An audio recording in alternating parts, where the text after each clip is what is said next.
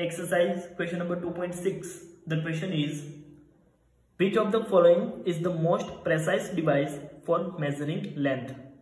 A vernier calipers with 20 divisions on the sliding scale, a screw gauge of pitch 1 mm and 100 division on the circular scale, and optical instrument that can measure length to within a wavelength of light. हमें ये find करना है कि ये जो तीन device है, उसमें से लेंथ मेजर करने के लिए कौन सा डिवाइस मोस्ट प्रेसाइज है? अब किसी भी डिवाइस का प्रेसिशन मेजर करने के लिए हमें उस डिवाइस का लिस्ट काउंट फाइंड करना पड़ेगा। A device with minimum count that means least count is the most suitable to measure length सबसे पहले वर्नियर कैलिपर्स का लिस्ट काउंट फाइंड करते हैं। वर्नियर कैलिपर्स में जो मेन स्केल डिवीज़न होता है, उसका मेज़रमेंट होता है वन मिलीमीटर यहाँ पर sliding scale that means vernier scale पे 20 डिविजन्स दिए हुए हैं.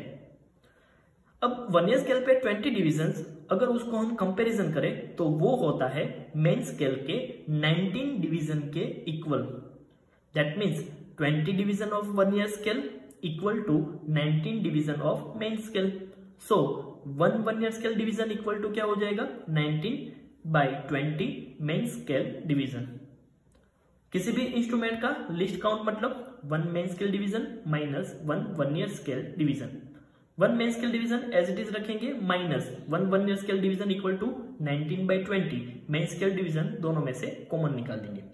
मेन स्केल डिवीज़न की वैल्यू हमारे पास है वन मिलीमीटर यहाँ पर रखेंगे.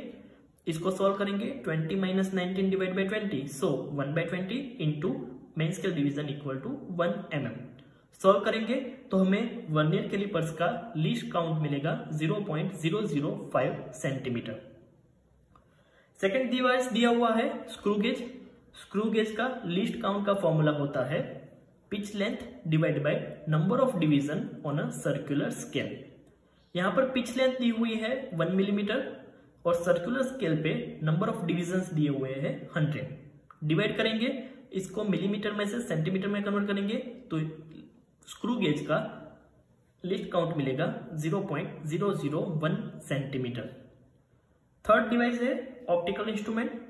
Optical instrument light की वेवलेंथ के ऊपर वर्क करता है। Least count of an optical device equal to wavelength of light. और लाइट की जो वेवलेंथ है, वो हमें पता है 4000 एंगस्ट्रॉम टू 7000 एंगस्ट्रॉम की रेंज में होता है।